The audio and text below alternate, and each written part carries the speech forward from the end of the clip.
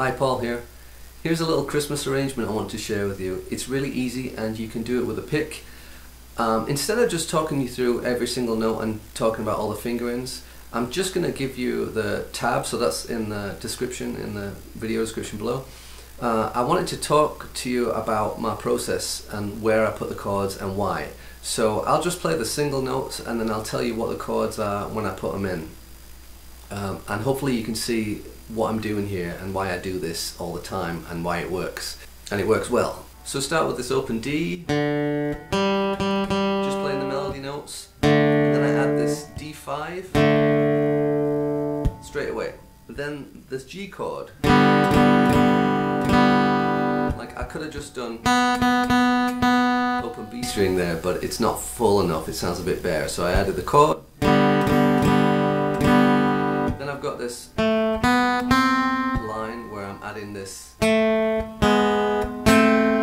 Felt like it needed something there, so second fret on the G, E7, and then a A minor, but just like the bare bones, just the second fret on the G and the first fret on the B. So single notes, then we repeat all that.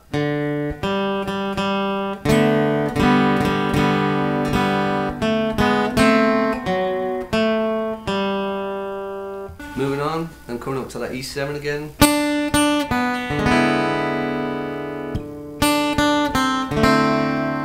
There's that A minor.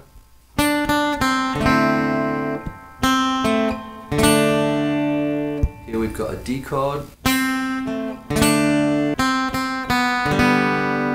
to the G.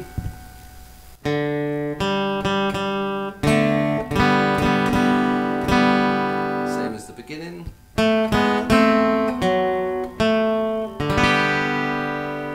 And then I repeat the first part with the ending chord, the G. I hope this is useful to you and that it gives you ideas for maybe arrangements of your own. I shall see you in the next one. Please like and subscribe to the channel, that helps me out a ton. Um, bye for now.